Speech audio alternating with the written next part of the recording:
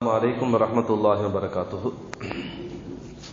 الحمد لله கண்ணியத்திற்குரிய அல்லாஹ் நல்லடியார்களே டே உட்கார் அல்லாஹனுடைய மிகப்பெரிய கிருபையை கொண்டு அல்லாஹு சுபஹானஹு தஆலா நம் மீது செய்த கிருபையின் வெளிப்பாடாக கிட்டத்தட்ட இருபத்தி ஒரு நோன்புகளை முடித்துவிட்டு இருபத்தி இரண்டாவது தராவிகி தொழுகையை முடித்துவிட்டு நாம் அமர்ந்திருக்கிறோம்.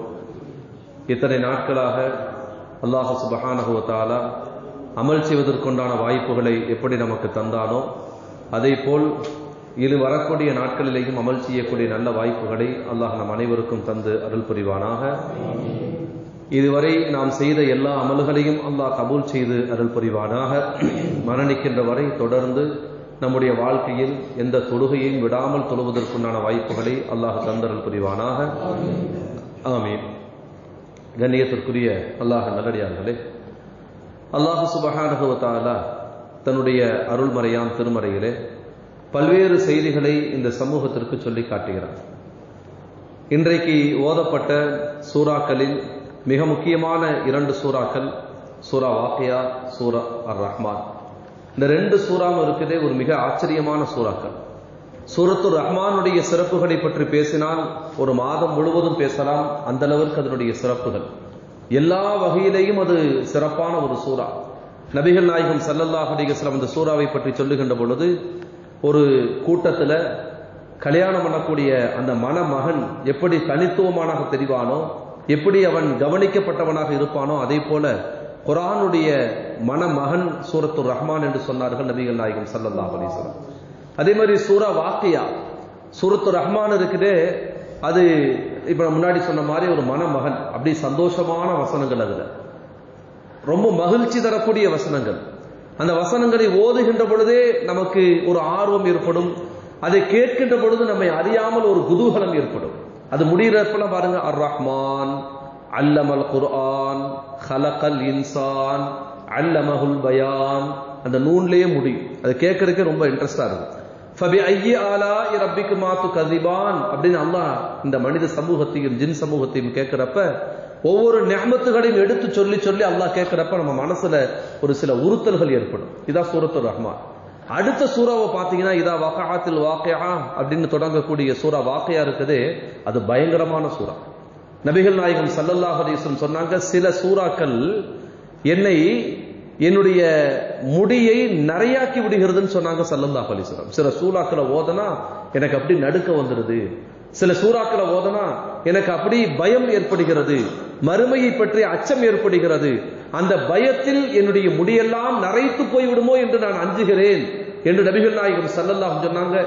தெளிவாகவே சொன்னார்கள் ஷையபத்தினி சூரத்துல் வாக்கையா. சூரா வாக்கையா என்னை நரையுடையவனாக மாற்றி விடுகிறது அப்படின்னு சொன்னாங்க சல்லல்லாஹ் அப்ப இந்த ரெண்டு சூறாவும் இருக்குது. சொர்க்கத்தை பற்றி நரகத்தை பற்றி மறுமையை பற்றி பல விஷயங்களை மனிதனுடைய படைப்பு குறித்து பல விஷயங்களை சொல்லி காண்பிக்கிறது. இன்னைக்கு நாம தெரிஞ்சுக்க வேண்டிய மிக முக்கியமான ஒரு சூறா அந்த அந்த ரெண்டு சூறாவில் இருக்கக்கூடிய மிக முக்கியமான ஒரு அம்சம் சொர்க்கத்தை பத்தி தெரிஞ்சுக்கணும். ஏன்னா சொர்க்கத்தின் மீது உண்டான ஆர்வம் இன்றைக்கு மக்களிடத்துல இல்லை. அதனாலதான் இன்னைக்கு என்னன்னு கேட்டோம்னா ஒரு சடங்காக இது போயிட்டு இருக்கு சொர்க்கத்தை பற்றி ஆர்வம் இல்லாம போச்சு நரகத்தை பற்றிய பயமும் இல்லாம போச்சு தொழுகிறீங்களா? ஆ தொழுகிறேன். அவ்வளவுதான் முடிச்சு தொழுது முடிச்ச உடனே வெகு வேகமாக அந்த தொழுகை சரியானதா? அந்த தொழுகையில ஏதோ குறைகள் இருக்கிறதா? அந்த தொழுகையை நாம் சரி செய்ய வேண்டுமா? எந்த இதுவும் இல்லை. நாங்க தொழுக வந்தோம் தொழுதுட்டோம். எப்படி நீங்க தொழுதீங்க? படிச்சு தொழுதீங்களா? பார்த்து தொழுதீங்களா? பார்த்துத்தான் தொழுகிறோம். அதுல உறுதியா இருக்கிறோம். யாரும் சொல்லி நாங்க தொழ மாட்டோம். யாரும் சொல்லி கொடுத்து நாங்க தொழக மாட்டோம். நாங்க படிச்சும் தொழுக மாட்டோம். அவர் எப்படி தொழுகிறாரோ அதை பார்த்து நாங்க தொழுவோம். அப்படிங்கிற ஒரு சூழல் தான் இன்னைக்கு சமூகம் இருக்கு. ஆனா அல்லாஹ் குரான் ஷரீஃப்ல வமா ஹலஃபத்துல் ஜின்ன வல் இன்சா இல்லா லியஅபுதூன். மனித சமூகத்தையும் ஜின்வர்க்கத்தையும் வணங்குவதற்காக படைத்தேன் என்று அல்லாஹ் சொல்றான். அந்த வணக்கத்தின் பிரயோஜனம் என்ன?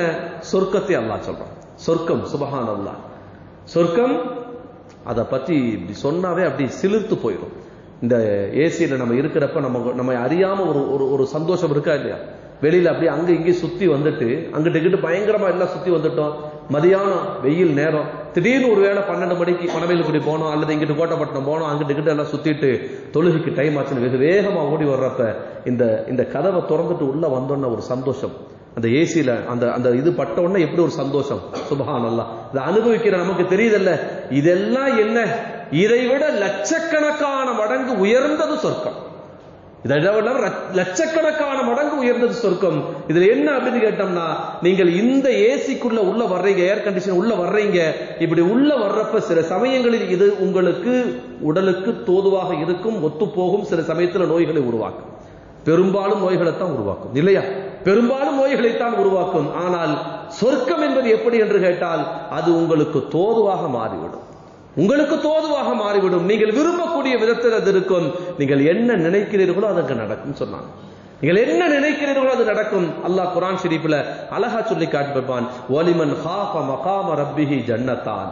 யார் அல்லாஹுவை அஞ்சுகிறார்களோ அல்லாஹுவை அஞ்சி பாவத்திலிருந்து தங்களை தவிர்த்துக் கொள்கிறார்களோ யார் அல்லாஹுடைய அச்சத்தின் காரணமாக பாவம் செய்யக்கூடிய ஒரு சூழல் ஏற்பட்டிருந்தும் அந்த பாவத்திலிருந்து விலகிக் கொள்கிறார்களோ அவர்களுக்கு இரண்டு சொர்க்கத்தை அல்லாஹ் தருகிறான். ஒளிமன் ஹாஃப மகாம ரப்பிஹி ஜன்னதானி ரெண்டு சொர்க்கத்தை அல்லாஹ் தர்றான். அந்த ரெண்டுல அவங்க விரும்பினதுல இருந்துக்கலாம். ரெண்டுலயுமே இருக்கலாம் அல்லது விரும்பினதுல இருக்கலாம். அது அவங்களுடைய இஷ்டம். அந்த சொர்க்கம் எப்படிப்பட்டது தெரியுமா?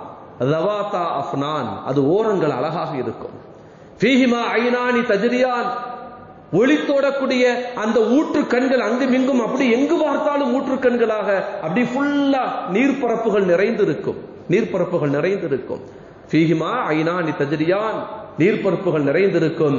ஃபீஹிமா மின்குல்லி ஃபாக்கிஹத்தின் ஜௌஜான் ஃபீஹிமா மின்குல்லி ஃபாக்கிஹத்தின். நீங்கள் என்ன பழங்களை விரும்பினாலும் சரி இன்னைக்கு வாழைப்பழத்துல எத்தனை வகை இருக்குது? செவ்வாழைங்கிறான் பச்சை நாடாங்கிறான் சிறுதானி அது இது என்னென்னவோ சொல்றான். ஆனா நீங்கள் ஒவ்வொரு வகை வாழைப்பழங்களை எடுத்து தனித்தனியா சாப்பிட்டு டேஸ்ட் பார்க்கணும். ஆனா சொர்க்கம் இப்படி நபிகள் நாயகம் சல்லல்லாஹ் அப்படி சொன்னாங்க ஒரு தோட்டத்திற்குள் ஒரு மனிதன் போவான் அங்க ஒரு ஆப்பிள் பழம் இருக்கும் அதை எடுப்பான் அதை கடிப்பான் அதை கடிச்சிட்டு அது டேஸ்ட் அப்படியே ரொம்ப பயங்கரமா இருக்கும் டேஸ்ட் அதை அப்படியே மறக்க முடியாம அந்த அந்த உணர்வுல இருப்பான். ரெண்டாவது மறுபடியும் கடிக்கலான்னு அந்த ரெண்டாவது மறுபடியும் அதே ஆப்பிள இரண்டாவது முறையாக கடிப்பான். முதல் கடி முதல் தடவை கடித்த அந்த டேஸ்ட் மாறி வேற டேஸ்ட் அதை விட இது ரொம்ப சூப்பரா இருக்கும். அதை விட இது ரொம்ப சூப்பரா இருக்கும். என்னடா ஒரே ஆப்பிள் தான் ஃபர்ஸ்ட் கடிச்சோம் அது ஒரு டேஸ்டா இருந்துச்சு. அதே டேஸ்ட் கிடைக்க நினைச்சோம் அதை விட டேஸ்டா இருக்குதுன்னு மூணாவது கடிப்பா அது இன்னும் கூடுதலான டேஸ்ட் நாலாவது இன்னும் கூடுதலான டேஸ்ட் ஒரே ஒரு ஆப்பிள் பழத்துக்குள்ள அல்லாஹ் அத்தனை சுவைகளையும் உள்ளடக்கி வைத்திருக்கும் ஒரு ஆப்பிள்ல ஒரு ஆரஞ்சுல ஒரு வாழைப்பழத்துல இன்றைக்கு உங்களுக்கு என்ன பிடிக்குமோ அனைத்தும் ஃபீஹிமா மின் பாக்கிகத்தின் ஃபாக்கிஹத்தின் எல்லா பழங்களும் அங்கு நிரப்பமாக உங்களுக்கு முன்னால் வைக்கப்பட்டிருக்கும். நீங்கள் விரும்பியதை எடுத்துக்கொள்ளலாம் நீங்கள் விரும்பியதை எடுத்துக்கொள்ளலாம் அதுக்கடுத்து அல்லாஹ் சொல்றான் அழகா சொல்றான். ரொம்ப முக்கியமான விஷயம். அதுக்கடுத்து அல்லாஹ் சொல்றான் இன்னைக்கு உலகத்துல திருமணத்தை விரும்பாதவர்கள் யாரும் இருக்க மாட்டாங்க. சின்ன சின்ன சண்டை சச்சரவுகள் இருக்கிறப்ப கொஞ்சம் கொஞ்சம் வெறுப்புகள் இருந்தாலும் கூட ஆனா திருமணத்தை விரும்பாதவங்க யாரும் இருக்க மாட்டாங்க. எல்லாத்துக்கும் ஆசை இருக்கும். அல்ல அந்த ஆசையை சொல்றான். டே கல்யாணம் பண்றியா? நல்ல பொண்ணு அழகான பொண்ணு வேணுமா? பொண்ணு வேணுமா? அப்ப அழகான பொண்ணு தானே வேணும் எல்லாத்துக்கும். எல்லாத்துக்கும் அழகா தான் பொண்ணு தேவைப்படுது. இல்லையா? யாராவது கருப்பா எனக்கு வேணும்னு சொல்லி யாராவது கேட்டிருக்கிறோமா நம்ம? அம்மா பொண்ணு பார்க்குறாங்க. அம்மா நல்லா கருப்பாக பார்க்கறதுக்கு எல்லாம் வெறுத்து ஒதுக்கின மாதிரி ஒரு பொண்ணை பாருமா நான் சகிச்சு கட்டிக்கிறேன் அப்படின்னு யாராவது ஒரு ஆள் சொல்லுவோமா? யாரும் சொல்ல மாட்டோம். அதான் எனக்கு கிடைச்சது வந்துச்சு அது வேற அட்ஜஸ்ட் பண்ணிக்கிறதுங்கிற வேற.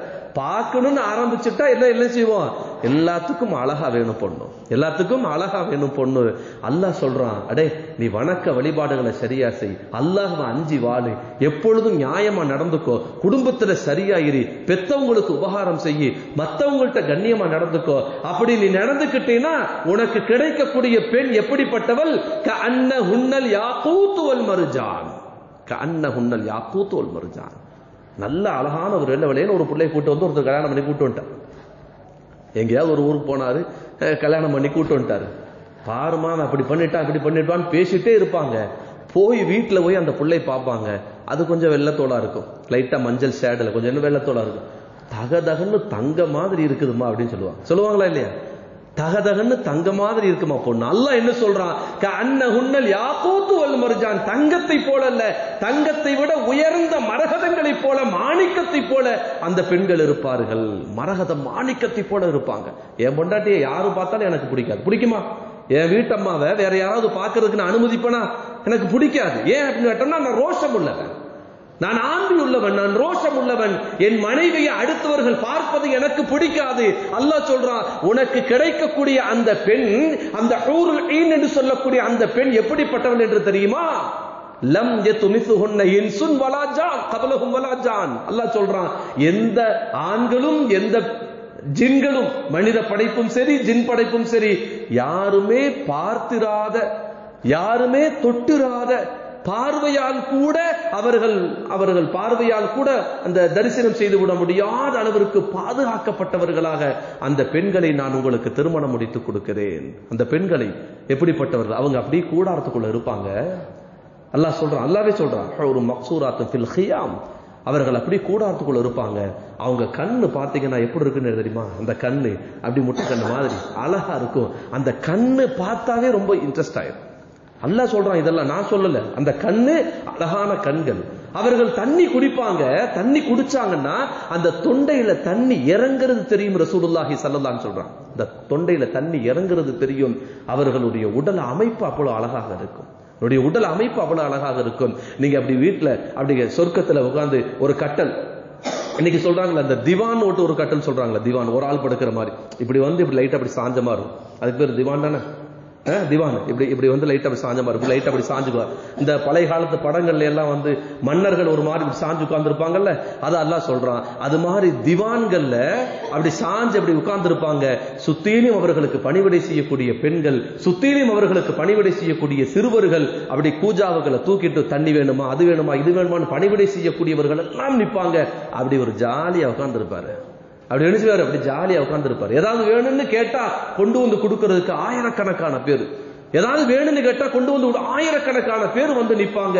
இத்தனை பணிவிடையாளர்கள் அவங்களுக்கு யாருக்குமே வியர்வை நாத்தம் இருக்காதுங்க. சொர்க்கத்தை பத்தி அல்ல வேற ஒரு இடத்துல சொல்றான். அங்க பசி இருக்காது அங்க தாகம் இருக்காது அங்க வியர்வை இருக்காது அங்க மலம் கிடையாது அங்க ஜலம் கிடையாது. அவர்கள் அசூசியாக நினைக்கக்கூடிய எதுவும் அங்கு கிடையாது.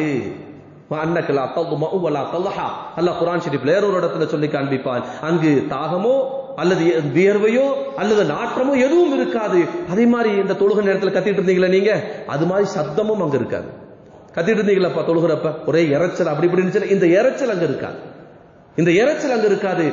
சலாம் சலாம் அப்படிங்கிற அந்த சாந்தி அமைதி அப்படிங்கிற வார்த்தையை தவிர்த்து விட்டு அங்க வேற எதையும் உணர முடியாது. அவ்வளவு சந்தோஷமா காமா அவ்வளவு ஒரு இன்ட்ரெஸ்டா இருக்கும். அந்த சொர்க்கம் அந்த சொர்க்கத்தை ஒலிமன் ஹாஃப மகாம ரப்பிஹி ஜன்னத்தான் அஞ்சுபவர்களுக்கு நான் தருகிறேன். ஓ மீந்தூனிஹிமா ஜன்னத்தானி அது மட்டும் இல்ல இன்னும் ரெண்டு சொர்க்கம் என்கிட்ட இருக்குது. அதுக்கும் சில தகுதிகள் இருக்குது. நீங்க எப்படியோ இபாதத்து செஞ்சா போதும். அல்லாஹ்வை வணங்கினா போதும். அல்லாஹ்வை அஞ்சனா போதும். உங்களுக்கு அந்த சொர்க்கத்தை நான் தருவதற்கு தயாராக இருக்கிறேன் என்று அல்லாஹ் சொல்லி காண்பிக்கிறான். போலாமா சொர்க்கத்துக்கு? யாரெல்லாம் வர்றான் கை தூங்கல சின்ன பையலுங்க நீங்களாம் வர்றீங்களா? டேய் என்ன நீ வரலையாடா? சொர்க்கத்து வரலையா? எல்லாத்துக்கும் ஆசை இருக்கு. ஆனா சொர்க்கம் போற மாதிரி இருந்தா பள்ளிவாசல சத்தம் போடக்கூடாது. சொர்க்கம் போற மாதிரினா என்ன செய்யக்கூடாது? பள்ளிவாசல சத்தம் போடக்கூடாது. வீணா சிரிக்க கூடாது ஏன்னா நபிகள் நாயகம் சல்லல்லாம் சொன்னாங்க பள்ளிவாசல்ல யாரு சத்தம் போட்டாங்களோ தேவையில்லாம நாற்பது வருஷம் அமல அல்ல அழிச்சிருவான். எத்தனை வருஷம் அமல்?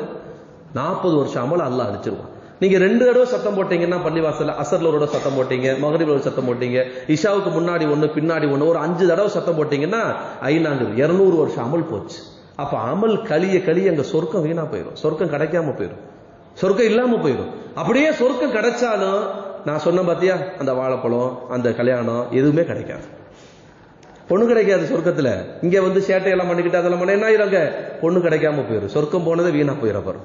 சொர்க்கம் போனது என்ன ஆயிரும்? வீணா போயிடும் சத்தம் போடலாம் சத்தம் போடக்கூடாது. ஓகேவா? நீ பள்ளிவாசல் எப்படி இருக்கணும்? அமைதியா இருக்கணும். ஏன்னா அமைதியா யாரு பள்ளிவாசல் இருக்கிறாங்களோ அவர்களுக்கு நாளை மறுமையில் சொர்க்கம் இருக்கிறது என்று நபிகள் நாயகம் சல்லல்லாச்சு ஒரு ஹதீஸ்ல சொல்லியிருக்கிறான். பள்ளிவாசலை சுத்தமா வச்சுக்கிறவங்க பள்ளிவாசல அமைதியா இருக்கிறவங்க பள்ளிவாசல்ல தொழுகை இன்ன பிற அமல்களை மட்டும் செய்யக்கூடியவர்களுக்கு என்று தனியாக சொர்க்கம் இருக்குன்னு அல்லாஹுடைய தூதர் சல்லல்லாஹும் சொல்லித்தரான். ஒரே ஒரு வார்த்தையை சொல்லி முடிக்கிறேன் அந்த சொர்க்கம் எவ்வளவு பெருசு இருக்கும்? எவ்வளவு பெருசு இருக்கும்? சொர்க்கம். நான் முன்னாடியே சொல்லியிருக்கிறேன் நான் கடைசியா சொர்க்கம் போறவருக்கு அல்லாஹ் கொடுக்கக்கூடிய சொர்க்கத்தின் அளவு அரந்துஹா க அருந்தி சமா இவல்லறதி இந்த பூமி எவ்வளவு பெருசு இருக்குது? பூமி எவ்வளவு பெருசு இருக்கு? இந்த ஊர்ல யார் வீடு? எங்க வீடு பெருசு அப்படின்னு சொன்னா இந்த ஊர் எவ்வளவு பெருசு? இந்த ஊரை உள்ளடக்கி இருக்கக்கூடிய இந்த வட்டம் மாவட்டம் தமிழ்நாடு இந்தியா கண்டம் அப்படிலாம் கடந்து பார்த்தா இந்த பூமி எவ்வளவு பெருசு இருக்குதோ அதை விட பெருசா இருக்கும் கடைசியா சொர்க்கம் போறதுக்கு. அப்ப உயர்ந்தவங்களுக்கு எவ்வளவு பெரிய சொர்க்கம் இருக்கும்? அபுபக்கர் சித்திக்கிறது இல்லாஹத்தால அவங்களுடைய சொர்க்கத்தை ரசூல் சல்லா அலிஸ்லாம் பார்த்துட்டு வர்றாங்க. மேராஜுக்கு போனாங்கல்ல சொர்க்கம் நரகம் எல்லாத்தையும் பார்த்துட்டு வர்றாங்க. அப்படி பார்க்கறப்ப மேராஜுக்கு போயிருக்கிறப்ப ஒரு மரத்தை நபிகள் நாயகம் சல்லல்லாஸ்ல கடந்து போறாங்க. எவ்வளவு பெரிய மரம்னா பெரிய மரம் நிக்குது. ரொம்ப பெரிய மரம். அந்த மரம் நல்லா வளர்ந்து நிக்குது. அதனுடைய கிளைகள் நல்லா ஃபுல்லா பரப்பி இருக்கு. இந்த மரம் இருக்குல்ல இங்கே முன்னாடி ஒரு மரம் இருக்குல்ல இப்படி செடி சின்னதா செடி இருக்கும் இப்படி வளர்ந்து அப்படியே பறந்து இருக்குமில்ல. அதுக்கு கீழே ஃபுல்லா நிழல் இருக்குமல்ல?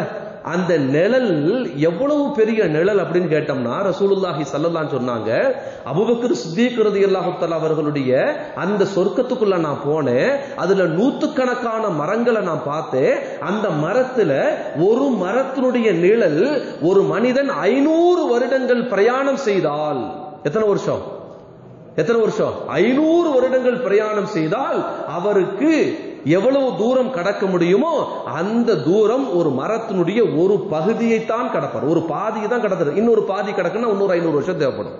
த ராகுல் காந்தி பிரயாணம் செஞ்சாரு. தம்ம இந்தியா ஃபுல்லா பிரயாணம் செய்து செஞ்சாரு. எவ்வளவு? ரெண்டு மாசம் மூணு மாசம் அவ்வளவுதான் செஞ்சாரு. வருஷங்கள்லாம் பிரயாணம் செய்யல. ஆனா ஓரளவுக்கு நிரப்பி அதை இதை ஃபுல்லா பார்த்துட்டேங்கிறாரு. ஆனா ஒரு மனுஷன் ஐநூறு வருஷம் நடந்து போனான்னா பூமியை ஒரு ரெண்டு மூணு நாளோட சுற்றிடலாம் சுத்திடலாம். அப்போ ஒரு மரம் துணைய நிழல் அந்த நிழலில் பாதி மட்டும் இந்த பூமியில் பல மடங்கு பெருசுன்னு சொன்னோம்னா எவ்வளவு பெரிய மரம்? அந்த மரத்தை உள்ளடக்கிய சொர்க்கத்தினுடைய விசாலமான அந்த இடம் அபுபக்கர் சித்திக்கிறது எல்லாத்தலா அவங்களுக்கு கிடைக்குதுன்னா அது எவ்வளவு பெரிய பாக்கியம்? அந்த அபுபக்கர் ரதி அல்லாஹத்தலா அவங்களுக்கே இவ்வளவு பெரிய சொர்க்கம்னா ரசூல் சல்லா அலிஸ்லாம் உங்களுக்கு யோசிச்சு பாருங்க. சுபஹான் அல்லாஹ் ஜன்னத்துல் ஃபிர்தௌஸ். ஒரு சாபி வந்து கேட்பாங்க யார சொல் அல்லாட்ட யா அல்லா சொர்க்கத்தை கொடு சொர்க்கத்தை கொடுன்னு கேட்பாங்க. நபிசல்லாம் சொல்லுவாங்கடா நீ என்னப்பா சொர்க்கத்தை கேட்கற? சலுல் ஃபிர்தௌஸ் சொர்க்கத்தை கேட்காத சும்மா சாதா சொர்க்கமெல்லாம் யாருக்கு வேணும்? சும்மா சாதா சொர்க்கம்லாம் யாருக்கு வேணும்? சும்மா சாதா சொர்க்கம் வேண்டாம். எதை கேளு? ஜன்னத்துல் ஃபிர்தௌஸ கேளு. அதுதான் சொர்க்கத்துல டாப் அதான் என்ன? ஹையஸ்ட் நல்ல ஹை குவாலிட்டியா இருக்கிறவங்க எல்லாம் அங்கதான் போவாங்க. ஹை குவாலிட்டின்னு எது? இதுல இல்ல. அமல்ல. அமல்ல யார் ஹை குவாலிட்டியா இருக்கு அவங்களும் அங்க போவாங்க. நபிகள் நாயகம் சல்லல்லாஹும் சொன்னாங்க சொர்க்கத்துல உயர்ந்த சொர்க்கத்துல ரசூல் சல்லல்லாஹ் சில இருப்பாங்க. அங்க போறதுக்கு ஆசை இருக்கா நமக்கு? ஆசை இருக்கா இல்லையா? இருக்கா இல்லையாங்க?